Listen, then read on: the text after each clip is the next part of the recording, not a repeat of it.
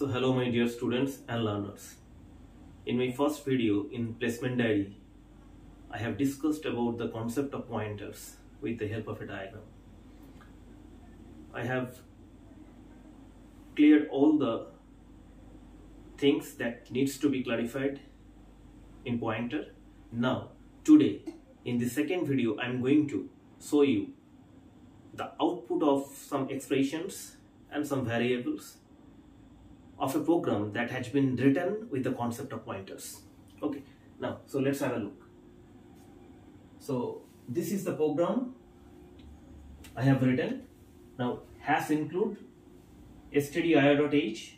So we are including the header file. This is the main method we are defining.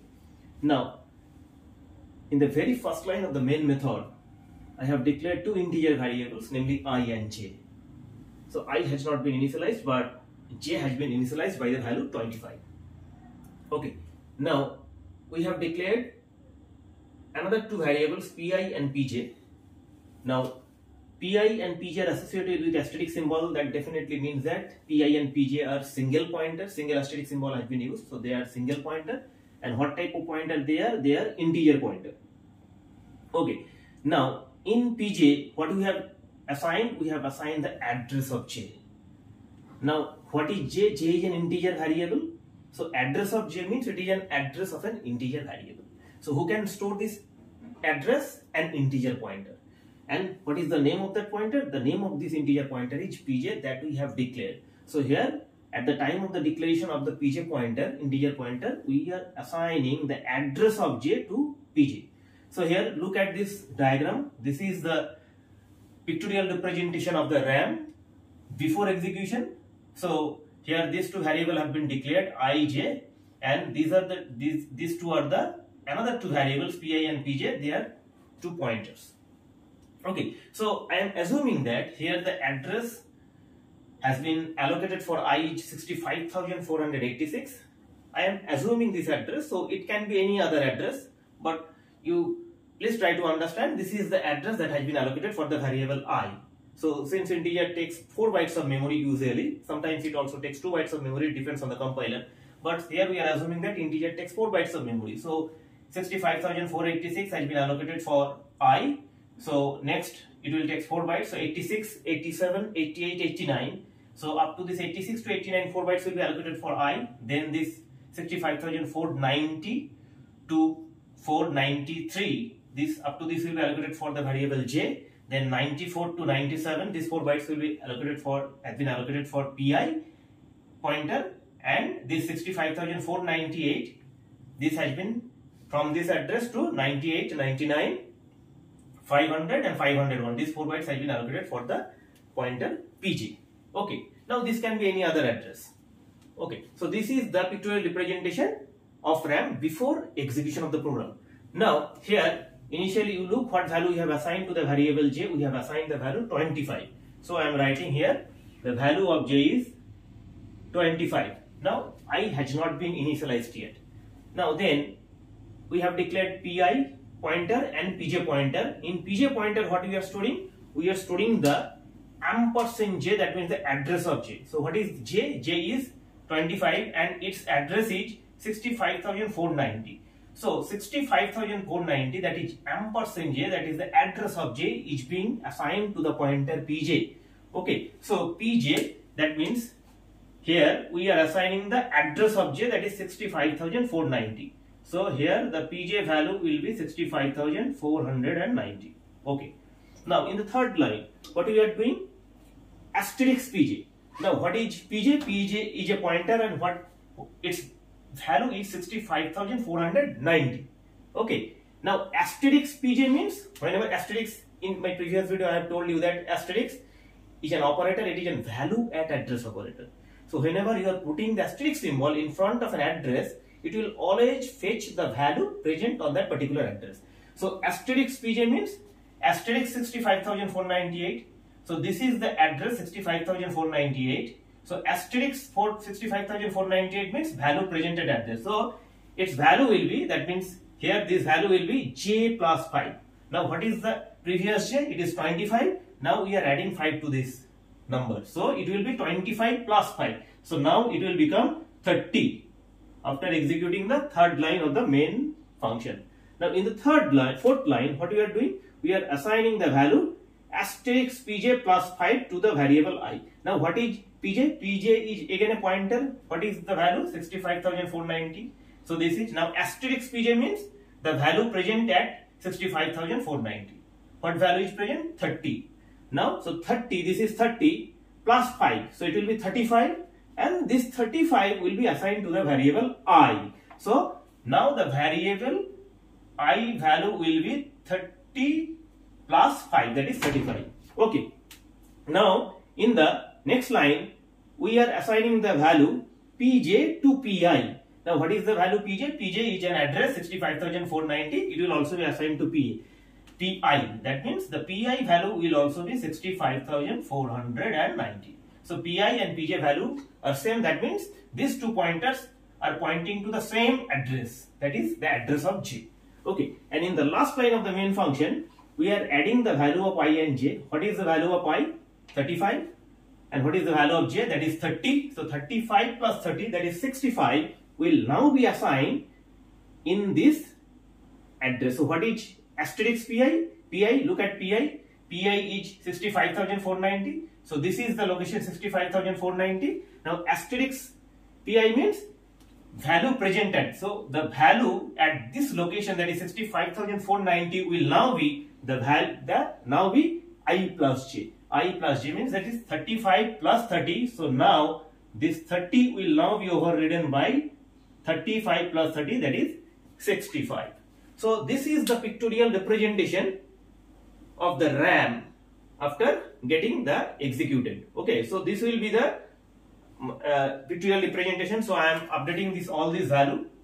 So it will be 35, then it will be 65, then this will be 65,490 okay now this will be 65,490 so all of them will be these two will be equal. Okay.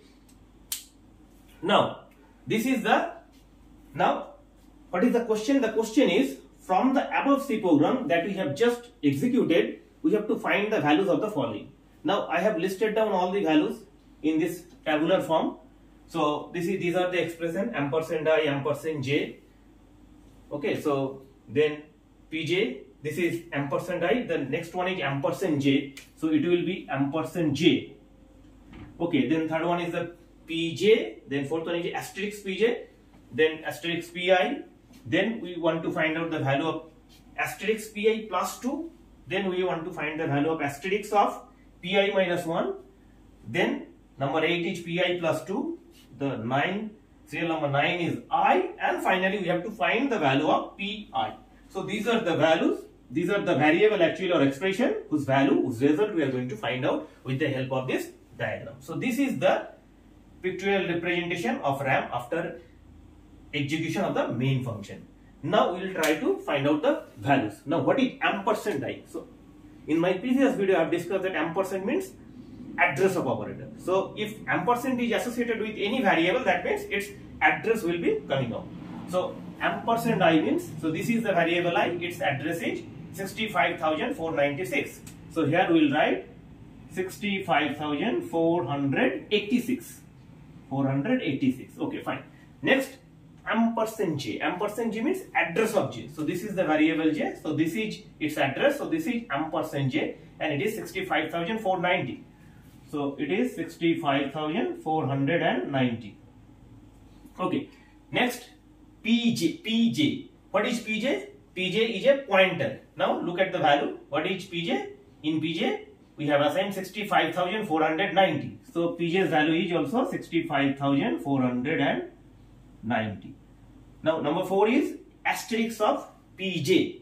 So PJ is 65,490 and this is the location asterisk pj means the value present at this address. And what value is present? That is 65 so asterisk of pj means asterisk of 65490 and its value is 65 so this is asterisk pj then asterisk pi so pi value is also same 65490 so it is also 65490 so asterisk pi means the value present at this address that is also 65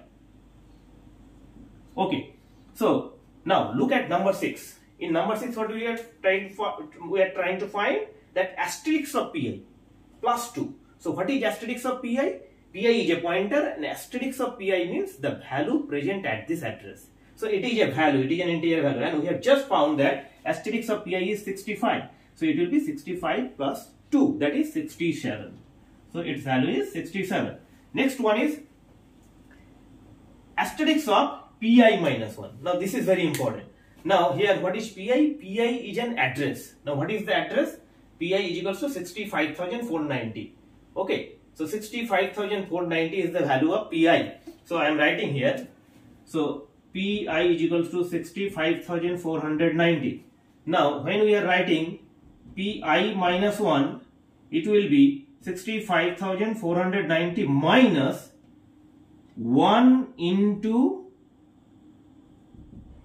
size of integer. So it will be devised like that. So it is called pointer arithmetic. So whenever you are decrementing the pointer by the value 1 that means it will be decrement by 4 because pi is a pointer to an integer. An integer takes 4 bytes of memory. So whenever you are decreasing it by 1 so it will be decremented by 4 that's why it will be it will be devised like that 65490 minus 1 means minus so this implies actually minus 1 1 into size of integer. Since integer now this implies what? 65490 minus 1 multiplied by size of integer is 4 so this simply means that it will be equals to 65486 so that will be the answer. That means although we are decrementing the pointer by the value 1 but it will be decremented by 4 since integer takes 4 bytes of memory.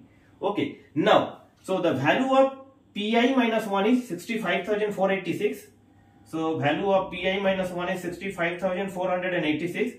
So asterisk of pi minus 1 means value present at that address. That means asterisk of 65,486. And what is this?